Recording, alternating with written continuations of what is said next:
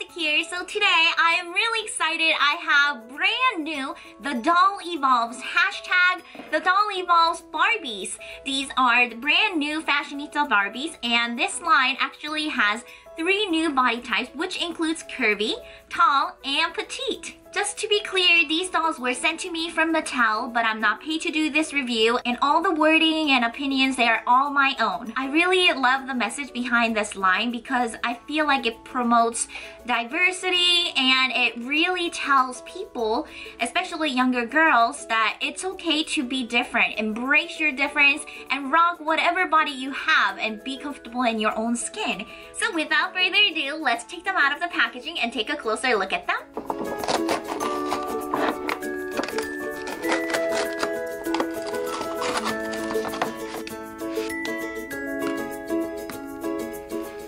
the dolls are out of the boxes and they were quite easy to take them out. The first one we're going to look at is this tall Barbie and this one actually to me looks much like Asian except you know there are Asians with monolids like myself which means that you don't have that fold over your eyelid and then there are Asians with you know double lids. She does have double lids so I am hoping that in the future they will come out with some Asian dolls with monolids so that I could just be more related to them. She has uh, medium length hair and her hair is actually, even though it might look like just one color, she actually has two colors in her hair which is dark brown and black. I'm not going to explain the details of her outfit just because I'm going to give you guys a closer look on the split screen but she also comes with her own necklace which is in yellow and it's casted in plastic. All the Barbies actually have stationary hand positions. They do have joints on the shoulders and also on the hips. This Barbie has flat feet and she's wearing yellow sandal platforms and I will definitely give you guys a height comparison after the detail comparisons. The next doll right here is a blue-haired curvy Barbie and I know this is the one that a lot of people are very very excited about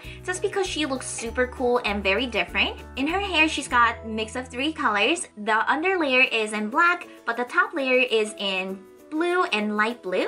This is the only Barbie out of six that comes with sunglasses. She comes wearing these purple translucent sunglasses and under the sunglasses you can see her gorgeous green eyes with like very neutral makeup. This Barbie actually has slight dimples right next to her mouth. Her outfit is in two pieces and yeah, I'm not going to really give you guys a detailed explanation. Again, um, she has stationary hand position. In her case, she has them both opened. Her legs are also thicker because it wouldn't make sense for her to have, you know, thicker legs since she has curvy body. And on that note, she does have a bit of chubbier face, which is reasonable also. This Barbie has slightly tiptoed feet. She's got slight wedged black heels. Third Barbie right here is the Barbie that actually reminds me of spring or Easter. She is in previous Barbie body or regular Barbie body as a lot of people like to call. Even though it might look like she just has single colored hair, she actually has two different tones. The two colors are not that much different from each other,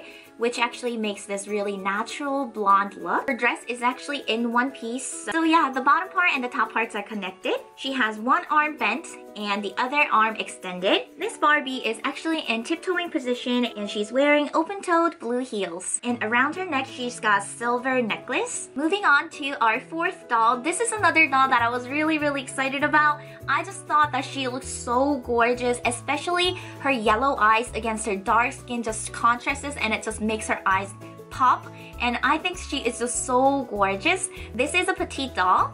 As you can see, she has her hair up and it's super curly and her hair is so gorgeous.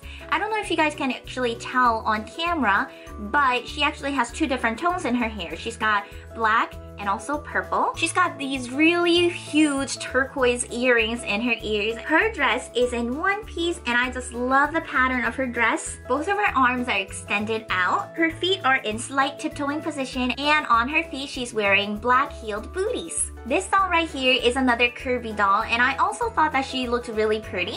She also has a chubbier face but compared to the other Barbie that I showed you earlier, the curvy Barbie, the blue haired Barbie was smiling with her teeth showing whereas this one is smiling with her mouth closed. She actually also has two tones in her hair. I thought she might have had one color, but no. She actually has very, very, very pale blonde and slightly darker blonde. Both colors are very pale blonde, but they are slightly different.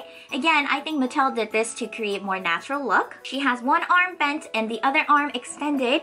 Her dress is in one piece and she has a pink belt around her waist, which is a separate piece. Her feet are sculpted flat and she is wearing black flats. And lastly, here is my sixth doll, which is in the regular body. And I feel like this doll is one of those dolls that just looks better in person than on photo or in box. And as soon as I saw her, I fell in love with her face because she has birthmarks. I have birthmarks on my face, so when I saw that she had birthmarks on her face, she just became more endearing to me. For her hair, she's got two tones. She's got orangey brown hair and also more dirty blonde brown color in her hair. Her eyes match her dress, which is actually pretty cool. And her dress is in one piece. And as you can tell, the front layer is shorter than the back layer. She has one arm bent and the other arm extended. And on one of her hands, she is wearing a ring that says love. Her feet are sculpted flat and she has platform white sneakers on. And finally, here is the height difference amongst all the girls. So that was my quick review on the Doll Evolves Barbie dolls. Because I'm petite and curvy myself, I'm hoping that they will soon come out with a petite curvy doll, preferably an Asian doll, I don't know. Just to know that there are more options out there, it just excites me so much and I love these dolls very, very much. Please let me know what you think about these dolls in the comment section below and also do let me know which one is your favorite body type. Once again, thank you so much Mattel for sending these dolls to review. As always, thank you guys so much for watching. Until next time, bye guys!